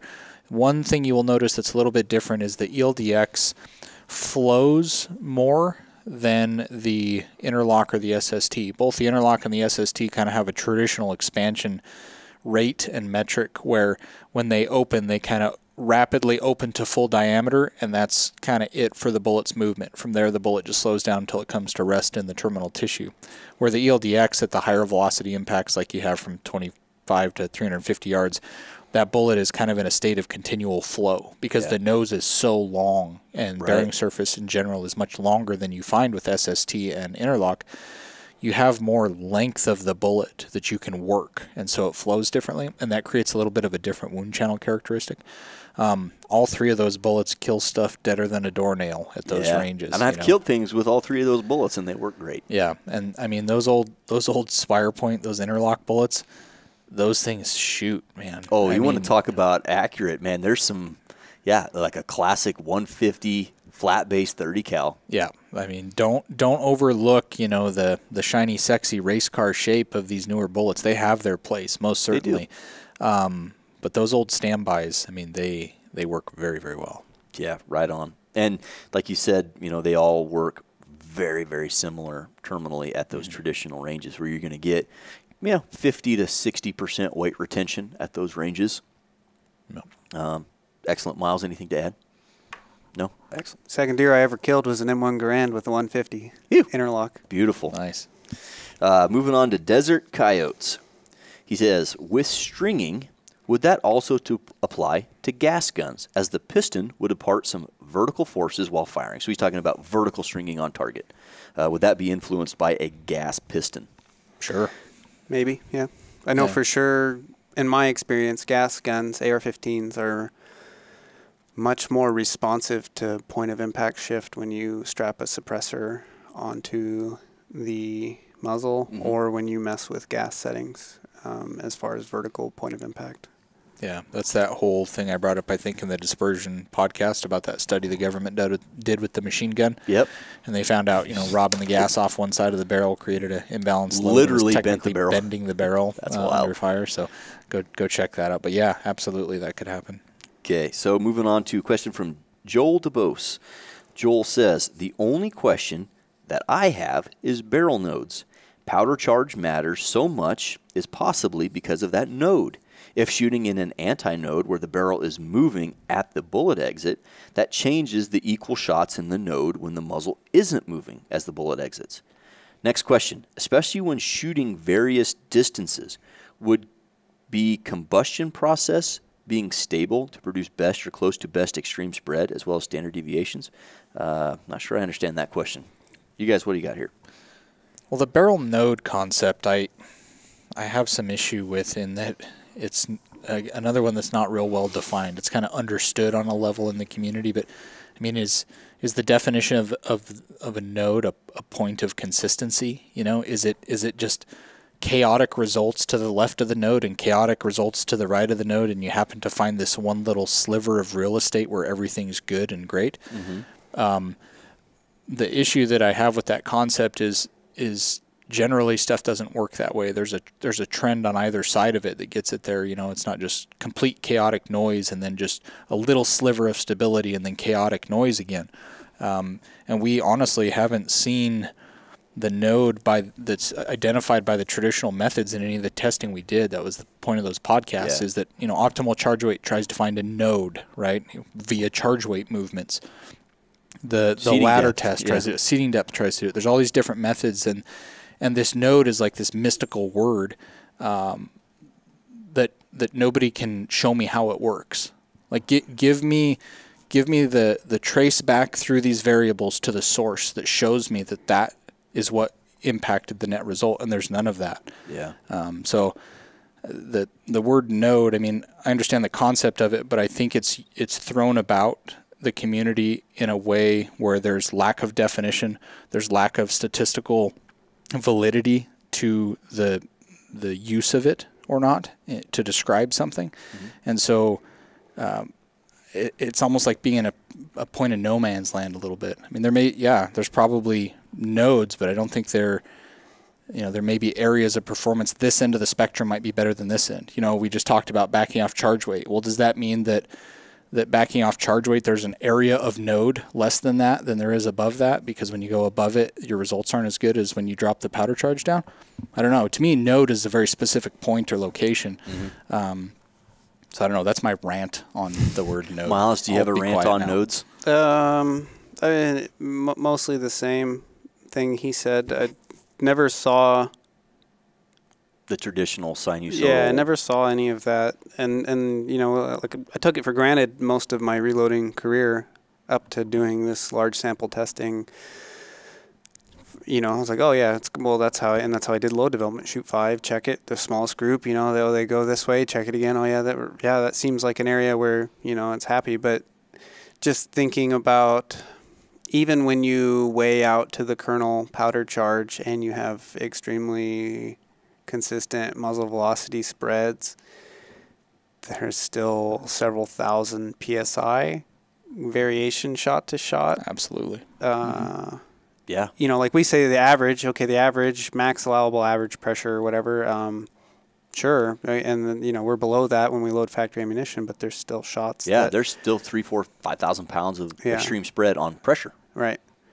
Pretty easily, normal. Yeah. easily, yeah. Um, so then, if that's your forcing function, and then that's that variable, and you're looking for this tiny little bit of wavelength down the barrel where things are moving or not moving, uh, how consistent are you really at hitting that? And Yeah. is that realistic, or is Yeah, I, and I don't know. I don't. s- I, ha- I don't have. I'm not a. Yeah. And you know So the inconclusive subject, on that one. Well, let me add one subject more matter thing, expert, 'cause that- but it doesn't seem like it. that could go wrong. My rant on nodes just there uh, is not an all-knowing thing. I'm not sitting here saying I know that nodes don't exist or any of that. Yeah. Obviously, obviously not. There's plenty of things that I don't know. But what I'm saying is, in my experience, I've looked under the hood enough of what's going on, and in a large enough, you know, sampling different ways and things that I haven't seen it that it calls into question the concept in my mind.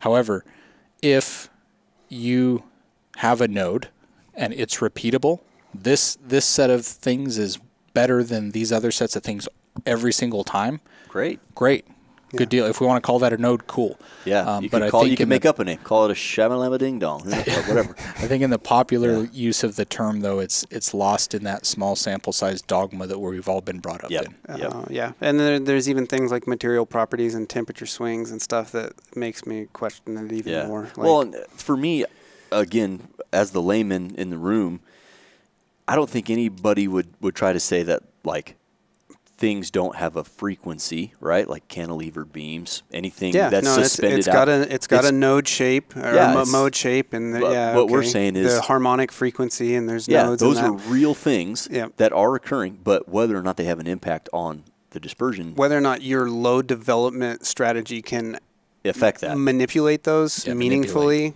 Mm-hmm. That's where I kind of get skeptical. Yeah. Okay. All right. And then his his second question, I'm not exactly sure how to how he's saying this, so I'm just going to think what I say what I think he's meaning is does having a better combustion, I don't, you know, air quote that, uh, to get low extreme spread and standard deviation, does that help you shoot things far away? And the obvious yes. answer is yes. Obviously, velocity, uh, like for the same reasons you mentioned earlier in the podcast.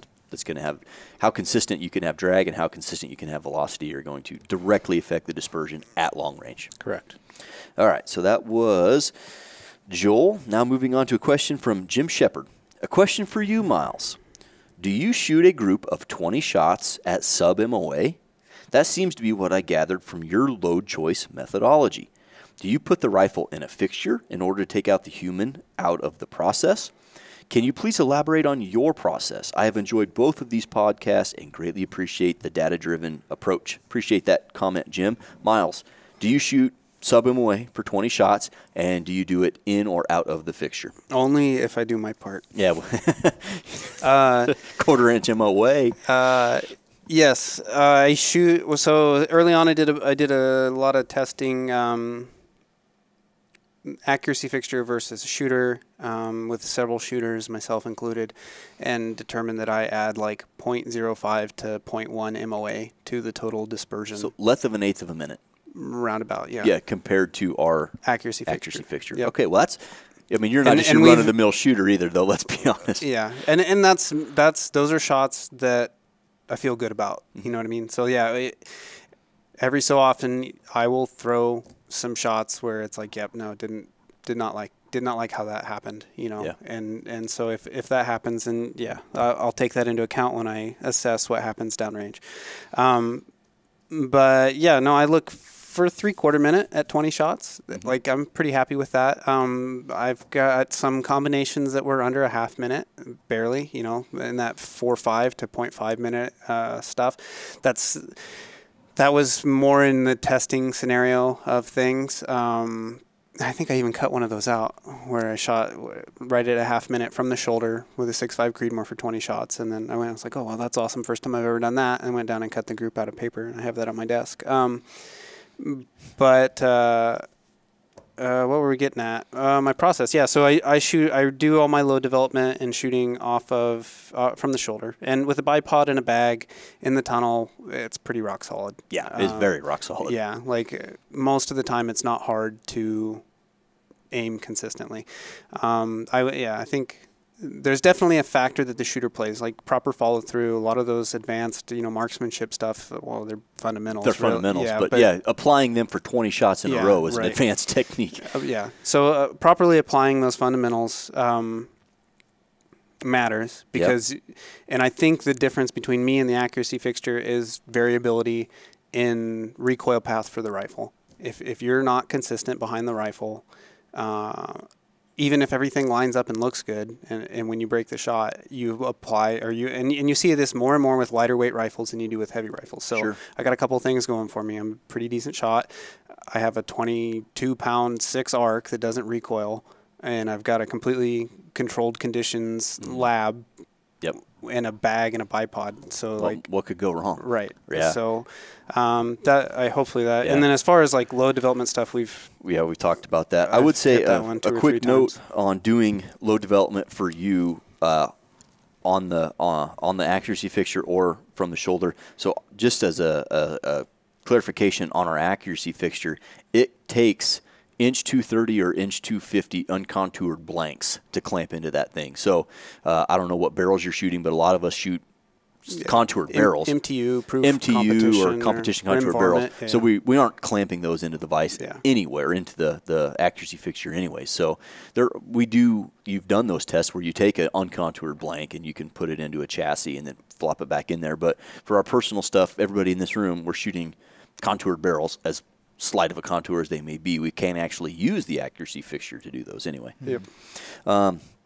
All right. Lean back Lenny. He asks, I wish Miles would put on a tinfoil hat and use his superior analytical mindset to help Hornady figure out how to increase production so I can find 6.5 Creedmoor casings to purchase. Uh, hey, Jamie, you got the tinfoil hat? uh, uh, definitely don't have a question in there or even uh, a witty comment or anything. I mean, that's a witty comment. I don't have That's a good for one. it. I'm glad we included that. Preston put this question there together. Uh, great job with that one. More tinfoil hats, more 6.5 Creedmoor cases. I think we got just what the doctor ordered. I'll do what I can. I'll do what I can. Excellent. Uh, and on a serious note, uh, we I'm not going to address it on this podcast. I don't know if it's the right platform to do so or what, but we have done some things to dramatically increase cartridge case production. So you'll see that uh, coming online here. So uh, moving on to a question from Scott.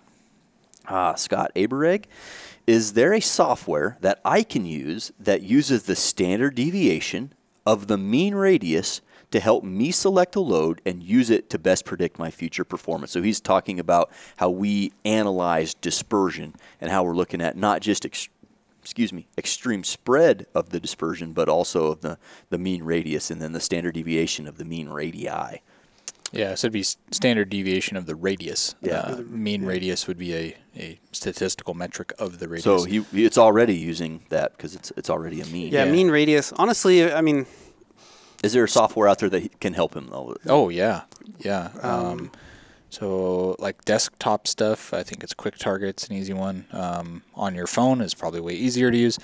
Uh, Ballistic Buddy? X, Range Buddy. Range Buddy, that's what it Um. We've mentioned, I think, in, in an earlier episode that we're like nearing the final stages of, re- of releasing one for the 4DOF app that we think will be super cool, and uh, we'll incorporate a lot of the stuff we've talked about.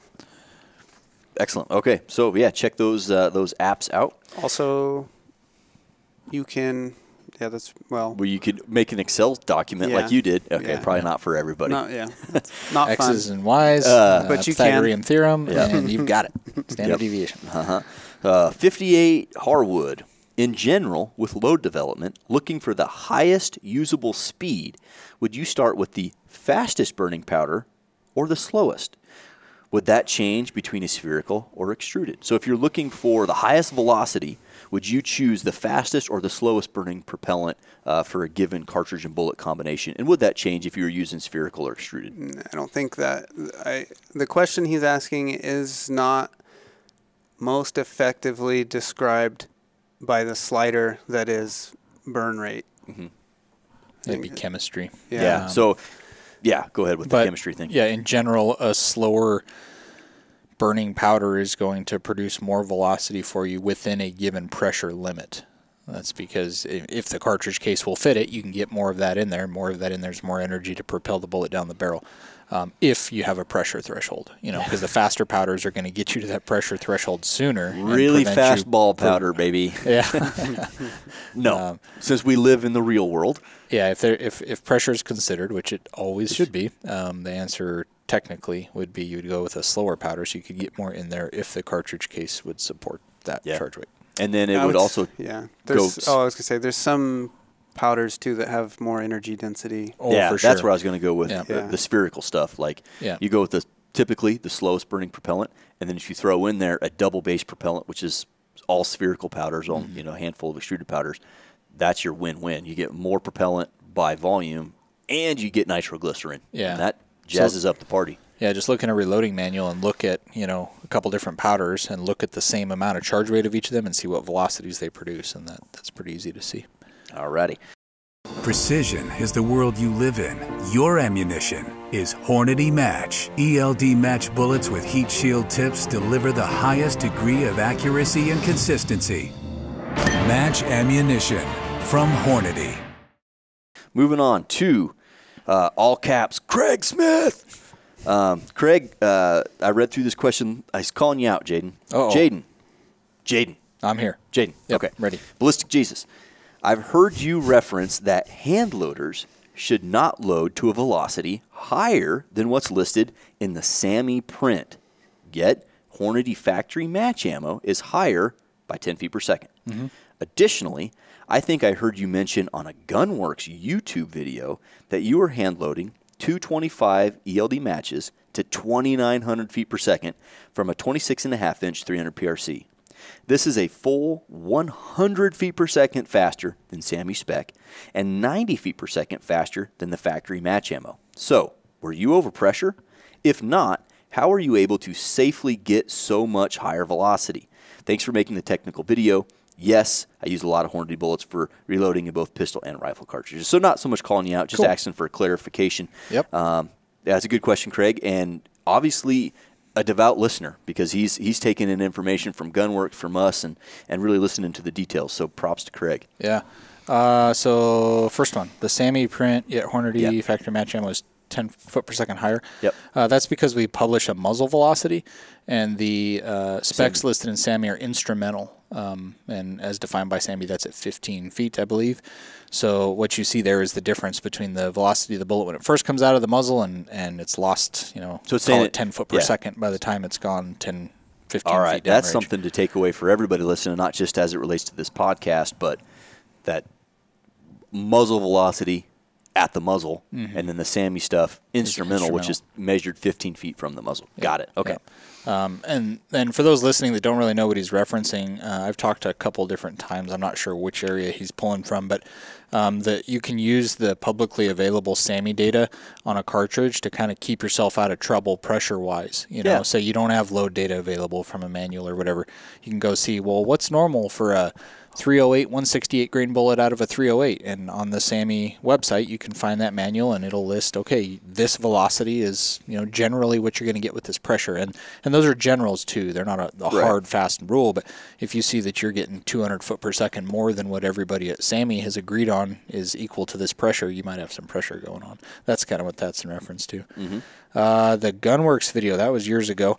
Um, so a 225 ELDM at 2,900 foot per second out of a 26 and a half 300 PRC. Uh, so I could get that if I selected a type of propellant like what we were addressing before that had a higher energy content. So that means that um, uh, without generating higher pressure, it can push on the bullet longer. You could think of it as in very simple terms and results in higher velocity. Uh, with that one, I'm not sure. Um, I around that time was that's when we were messing with the longer barrel stuff, and I wonder if I didn't say a 36 inch barrel, maybe said 26 and screwed up or something. 'Cause I don't know you guys have each done yardstick long 300 PRCs. but with my 36 inch PRC barrel, I was running 258 tips at 20. It was 28 or 29. I don't remember. Yeah, we were low 29s. 29s, I think. Yeah, Yeah. 29, 20 or so. Um, so Out I don't know. I'd, I'd have to. I'd have to look there. But, and and likewise, uh, but you're not that far off either. I mean, Yeah. you, you figure the 225 is running just over, uh, you know, 2800 with a 24 inch, and so you tack another two and a half inches onto that, and yeah, you're, you're approaching 20. you're approaching it. And Yeah. one thing I would mention, two things I would mention, but the first would be factory ammunition is loaded conservatively. Yes, the max average pressure is 65,000 pounds. We'll typically load our ammo between 58 and 62. And with where we work, you can pressure test your ammunition mm-hmm. and say, this is 64,000 pound ammo and then go to a match knowing that your ammo is 64,000 pounds, where you can flirt the line with the max average pressure because you, you, I mean, you have the pressure testing equipment. So that's one leg up we, we have over, you know, what I'm going to call the general consumer. And then two, the other thing, your job as the senior ballistician and the ballistic development group as a whole is to play around and do research and development. And mm-hmm. we get to use some of propellants that aren't commercially available uh, to help, you know, or like you mentioned earlier, we work hand in hand with several propellant manufacturers. Yep. And we can test some things on their behalf and work with them to create some new things. And uh, that could have been an instance like that. Yeah, but n- the more I look at it, those numbers are right in there. I mean, 2,900 foot per second out of a 26 and a half inch barrel. yeah, you might have a little bit of you know fouling that's uh, increasing the velocity there, but you're not far off of the realm of reason when you consider, you know, a, a 25 to 30 foot per second increase per inch of barrel length. You know, you add two and a half inches off of a 24 inch, and you're right in there. So Yeah, 30 foot fast. sometimes I don't remember everything I said years ago. Yeah, uh, color me shocked, Jayden. awesome. Well, uh, and he said in here, I believe I read it. Thanks for making the technical videos, and Craig, appreciate you listening to them, and we're going to keep making them as long as you guys keep digesting them, listening to them, watching them, interacting with us. We, you know, we enjoy doing these type of videos. Uh, moving on to Peter Briggs. Peter says, "Please tell me how this relates to barrel harmonics and barrel timing. I'm going to use the wrong words here, but you seem to be saying that both barrel whip, meaning up and down, and the bore expansion with the shock wave, think OBT or optimal barrel time, aren't real effects on dispersion. Is this true? Any chance you could address these effects slash theories in a part three? So what he's saying, uh, are we are we implying that the uh, traditional nodes, harmonics, barrel whip, and uh, the bore expansion uh, aren't real effects on dispersion? No, not at all. I mean, it, it's I think irrefutable that those things are occurring. The question is, are they like you said earlier, Miles? Are are you happening to time them perfectly in some narrow window of existence? I, I don't know. I don't, Probably I, not. I think you have a lot of other things going on um, that are that are eclipsing it. There's a lot of knobs that we know exist, probably a bunch more that we don't know exist, and a lot of the knobs that we know exist are really, really hard to directly correlate to what happens. Hmm And it, Because it's hard to correlate a turn to that knob causes a, an Yeah. effect. Yeah, yep. Because what's happening is happening very quickly, uh, very small magnitude of movement in terms of barrel swell or muzzle whip or whatever, um, and it's all behind an opaque steel wall. Yeah. Yeah, and the the highest correlation knob that I have ever seen is uh, charge weight with velocity and pressure. Obvious, right? I put more charge, I put more powder in the case, and the velocity and the pressure go up.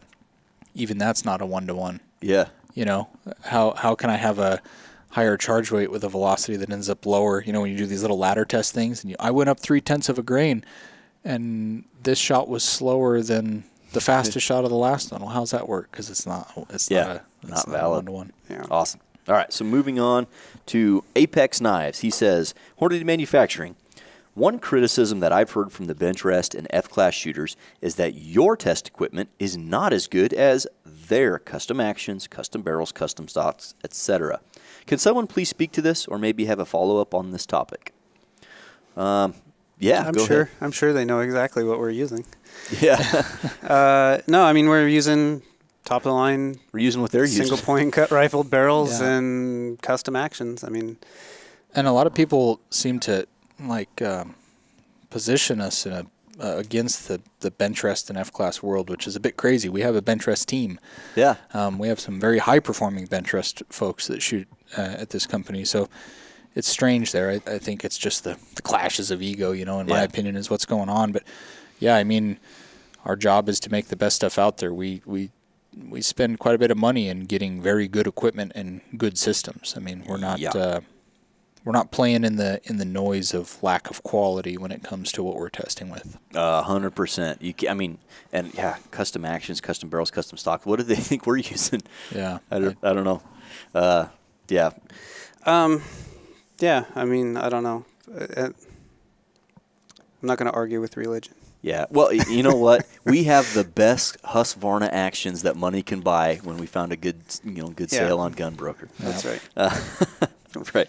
Uh, so yeah, we're yeah, quality is not uh, uh, a concern with us. Like we're we're buying the same equipment that they're buying as far as barrels and actions and stocks and all of that jazz. Yeah. Uh, All right.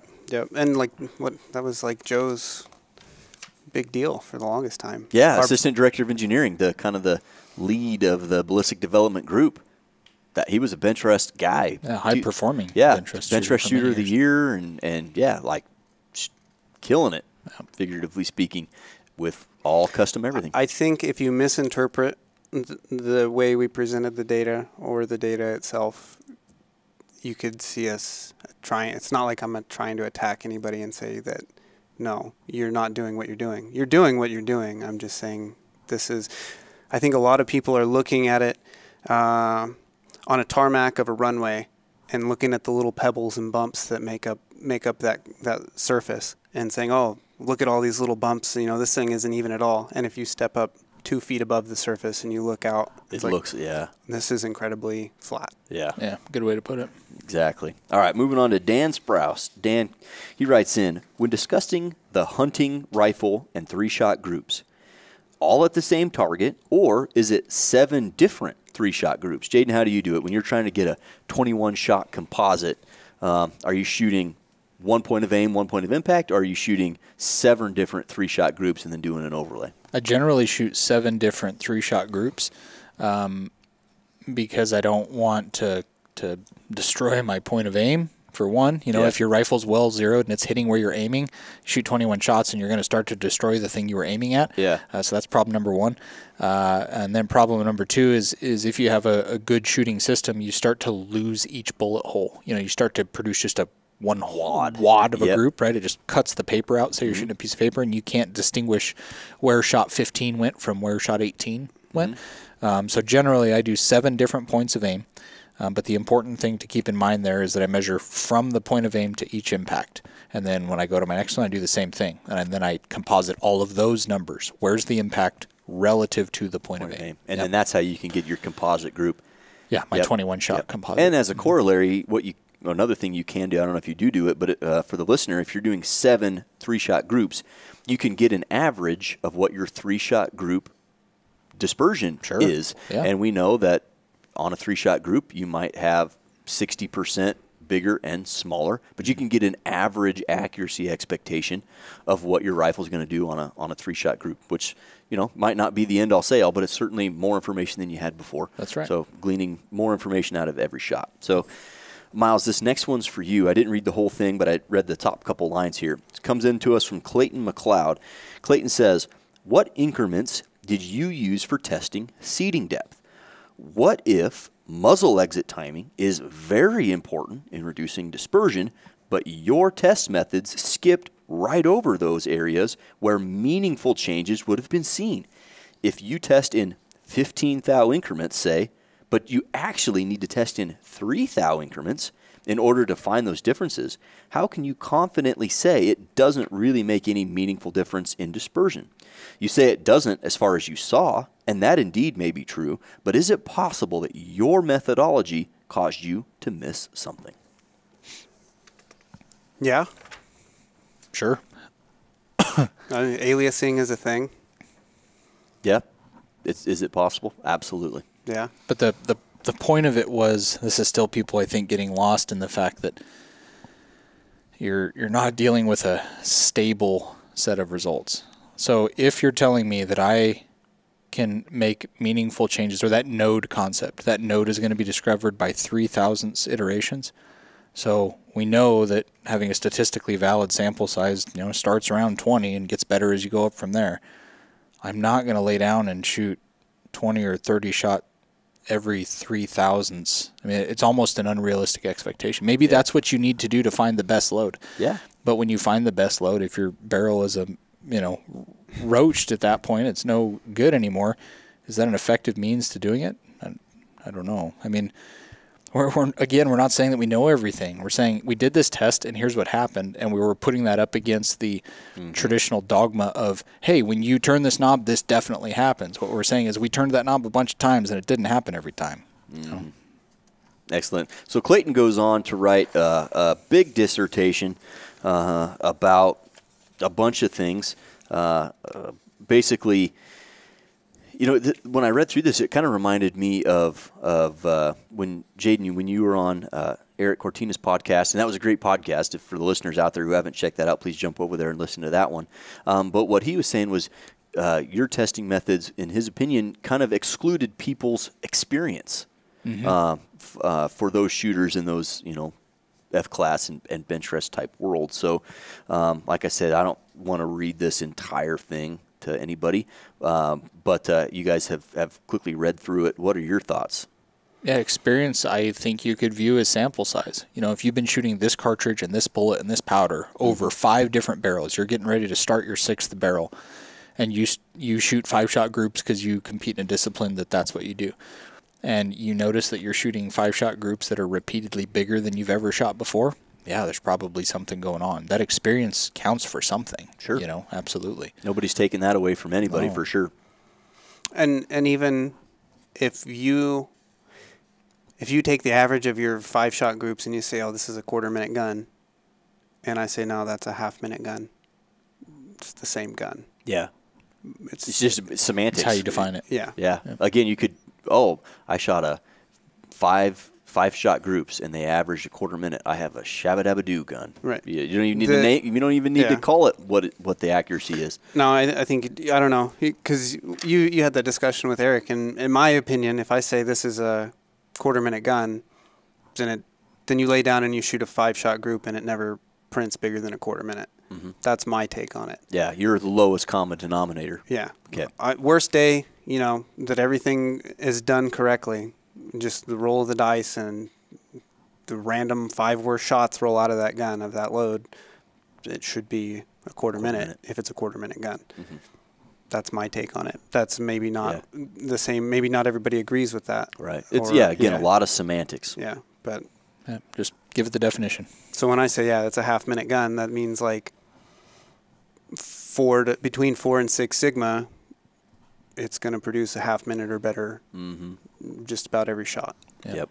And he uh, uh, he kind of rounds this out here talking about barrel vibration, and he is very adamant that uh, bullets exiting at a specific node is the uh, the the pinnacle of precision, um, and that yeah we're we're missing that, and we're doing the industry uh, an injustice by not pursuing um, bullet seating testing uh, better. So, Miles, take that to Uh, do yeah. more bullet seating. Well, there's testing. a hole in the market for somebody to pick up There you go, business opportunity, Clayton, and or anybody else out there. give the world what they need. Give the world what they need. Yeah, All and right. hey, hey, gather the data. I mean, Oh, we're not for saying our data is the only data that's relevant. You know, like that's ridiculous. I think we, we said that before recording that hey we, we're the smartest guys in the room and they're gonna take this as gospel because we said so. yeah, that's, no, that's I mean, and it's not like I'm done testing either. I mean, there's more stuff that we'll do, and I'm sure there'll be more things that we find as we go along. But uh, Yeah. Well, and, and it's okay to be to be critical, and, and we're not Oh, trying yeah, to yeah, slight yeah. Clayton. Uh, we also have jobs outside of this. Can you? We Jayden and I have talked about this years ago. Can you imagine how it would be if we didn't have to worry about Miles designing a 90 grain nine millimeter hollow point, and Jayden didn't have to worry about uh, making the internal ballistics look really good on a 350 Legend or something. And if we could just solely focus on long range precision and how cool that would be, and the ground we would cover, but we don't. We have to do the 350 Legend. We have to do the Bushmaster. You have to do bullet projects for pistols and revolvers and subsonic and all these other things. So the testing's ongoing. It's just Yeah. it, that's only a sliver of your job responsibilities. Yep. But hey, if that matters, test it, get uh, good data. Let's see it. Yeah, I'm, I'd be Yeah. interested to see. I Heck mean, yeah. I it, yeah, it's like I think I've nailed this to death. I hope. And he even mentioned it at the beginning of this that like that's that's the testing I did. That's what I've seen. I can't I can't do everything. I don't have all the answers. Uh, but yeah, if you think that's correct, then prove it. Yeah, that right, right on. Or give me a link here to you know somebody that has. All right, we're moving on to a much better, uh, at least handle. Uh, over to 18 wheels and a dozen six shooters. All right. uh, I'm curious about your statement. Seating depth doesn't really matter. I have to wonder if you're not seeing effects from seating depth due to the fact that you're using a truck axle for a barrel, which is true. A lot of our stuff's done Only on an 18 wheeler handle can uh, make Yeah, that claim with yeah, that's right. That's awesome. Does seating depth have a bigger effect on a pencil barrel? Potentially. Probably. potentially. Yeah. And I think to clarify, you know, he said your statement seating depth doesn't really matter. To clarify that, I I don't know the direct quote, but basically seating depth didn't really matter in our chamber designs with the reamers that we have with the bullet profiles, the ogive profiles on our bullets.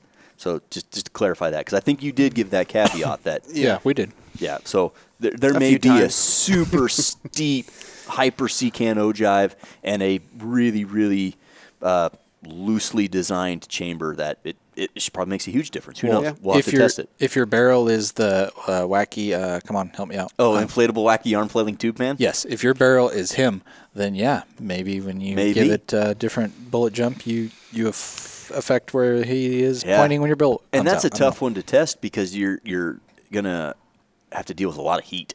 Yeah. Yeah, So there's a lot of things. Yeah. There's so many You things can't- going there's, on. Yeah, there's. It's really hard in this to change one thing and not change other things. Yep, that's a good question though, and yeah, we do have. It's uh, probably it's probably a factor. Um, yeah, and I think that's kind of like uh, there's some stuff that I was looking into the other day, like um, what do they call it? Structured barrels, where Mm-hmm. they take just a giant barrel and they drill holes and, and basically increase the the rigidity of, of the structure for a given weight.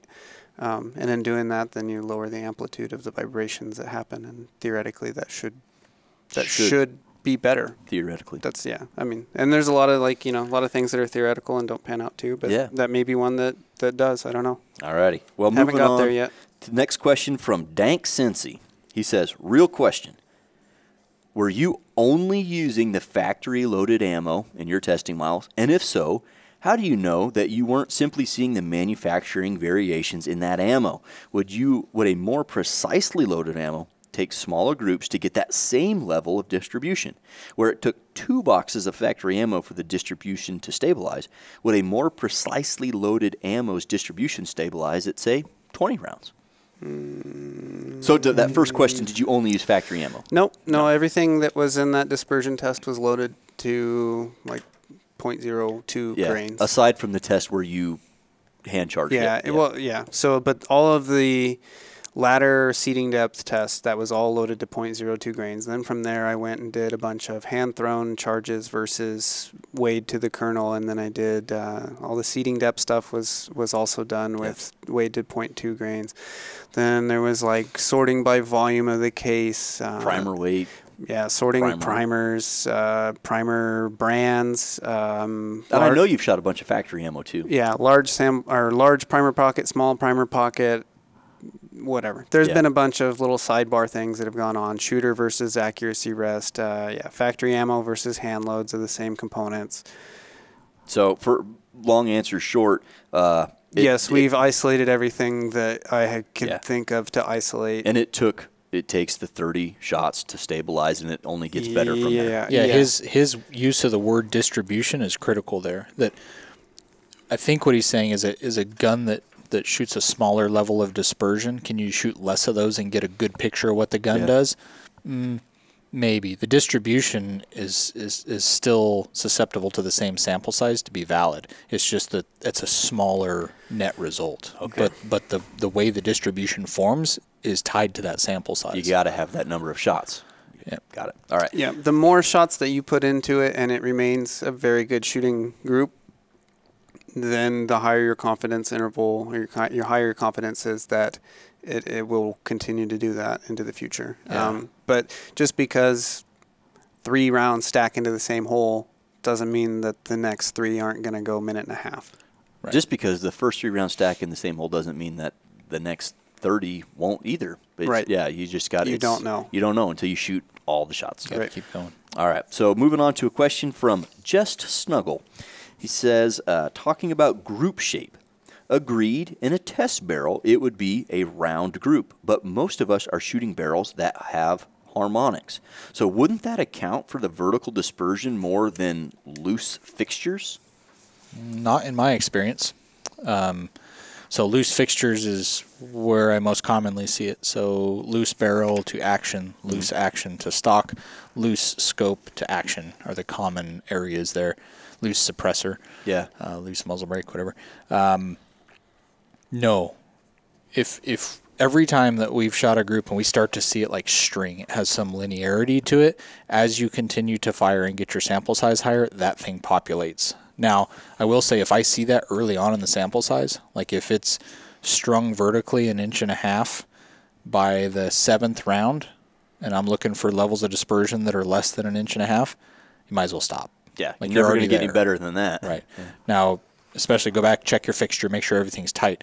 But I mean, we've shot we shot those um, 500 shot groups, and the group by the time we got to 50 shots, it was round, and it only stayed round and just got more filled in. You Yeah. know, it, it, most of the time when you see the stringing, be careful about associating a problem to it that you can't prove.